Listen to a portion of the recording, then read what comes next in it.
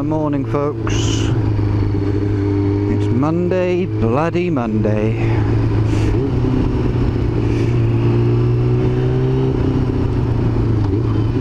Which was, uh, it's a three quarters partridge reference, that one. That's for the, uh, the gentleman biker after last night.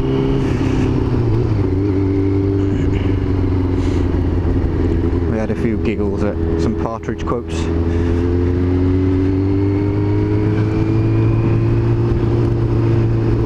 But we're back into the working week after the weekend. I say I ended up in Swindon for the missus' 30th birthday, which was all good. We went, well, stayed the night at her folks on the Friday, had an Indian. On the Friday afternoon, I took her to a pub lunch. Saturday was an all-you-can-eat Chinese. And then Sunday, my parents come down to roughly where we were staying, uh, because that's where we're getting married next year. So her parents come across, her sister was there, my sister was there, and had lunch at our wedding venue, which was very nice. And it was an even bonus that it was kind of halfway home. So we got home at a reasonable hour yesterday for a change. Normally it's kind of a 10, 11 o'clock job in the night, but we were home, I don't know, 5, 6 o'clock maybe, which is all good. On other news, I did say I'd give myself a little football update. That team that I played for managed to draw five fucking five each. How the hell did they concede five goals? Pretty much consistently score five. Close anyway. But bloody hell. I don't know who was playing today, or don't know who was playing yet because the team sheet's not on the interweb, but that's it, make your mind up.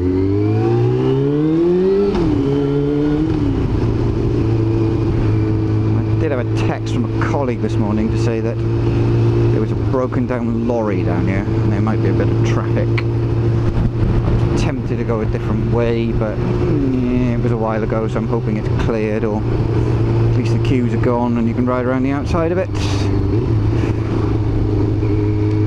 But yeah, five all. That was that's baffling. There we go. Hopefully I'm back next week. Oh, Although it is a miserable day. and by the sounds of it, it's gonna absolutely tonk it down later. So that's to be fun on the way home. The problem is I can't do any vlogging because the stupid GoPro case isn't waterproof. I'm not sure what waterproof ones you can get, if you can, to be able to put a microphone in. It's kind of the reason that, well, the reason that I went for the GoPro in the end over the Drift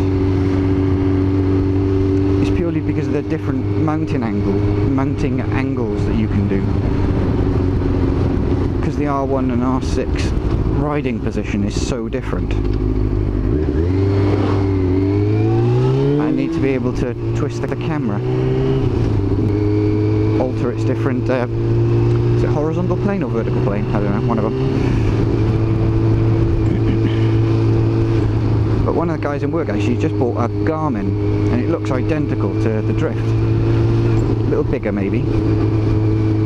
Um, but you can have the whole tilting doodah job on it, which is, it looks pretty good. It'd be interesting to see what some of his footage comes out like.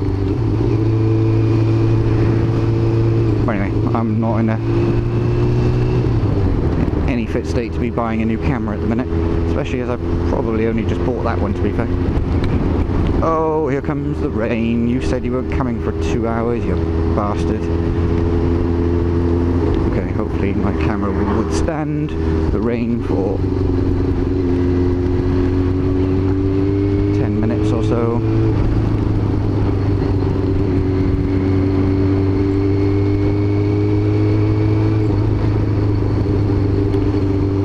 Yeah, well, I don't know what other news there is to be honest. That was my weekend was gorging myself on food and getting drunk. It was quite funny though. My sister came out with us. They come out with us and she's like, come on, that's it, we're to stay by the bar and do some shots. I woke up perfectly clear head, she woke up, massive hangover.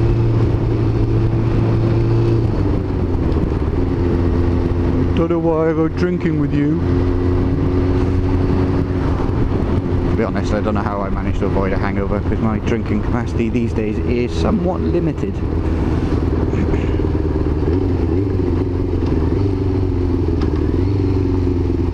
Oh no, is this the broken down truck? Oh, it's a beer truck as well. That's a nasty place to break down. But it's coming into winter time. Clear visor is on. Pinlock in. It's one of the first times that I've wore a neck chief in. blah, I haven't got a clue. Months and months and months. Although I haven't put the uh, thermal lining back in the old coat and trousers yet. But that ain't gonna be long.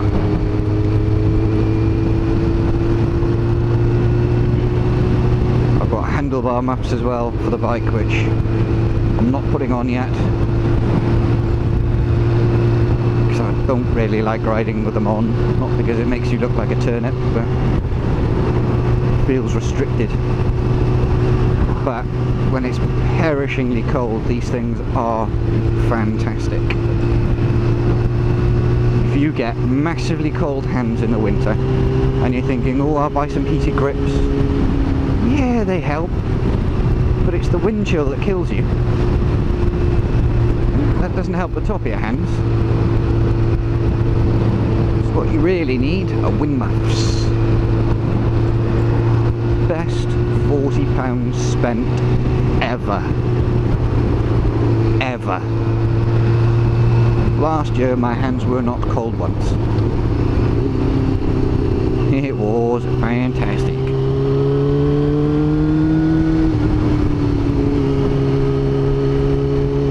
But this might also my last vlog for a few days. Because A, I don't like riding the R1 in the wet. And the reason that I would have to ride the R1 is this is going for an MOT tomorrow morning. Because it runs out at midnight tonight. Actually, I don't know whether it says I don't know, 7th of October I think it is. I think it's the 6th of the day.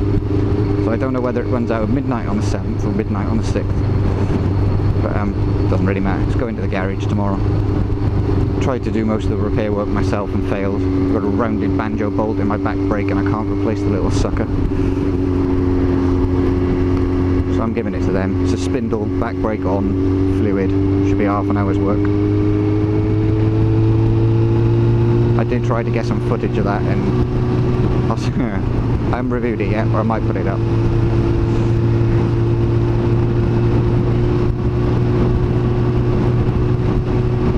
Somewhat frustrated with it. But yeah, other than that, and I need... Oh, the horn doesn't work. I have no idea why that horn doesn't work. It's normally just a little lead that pops off, but it's not that this time. So I'll let them fix it. It's too cold. I can't be asked. And I don't have the time at the minute. But uh, I think that's Hamster's update for the weekend. Have a fun week at work, folks. And I shall catch you next time. Hamster out.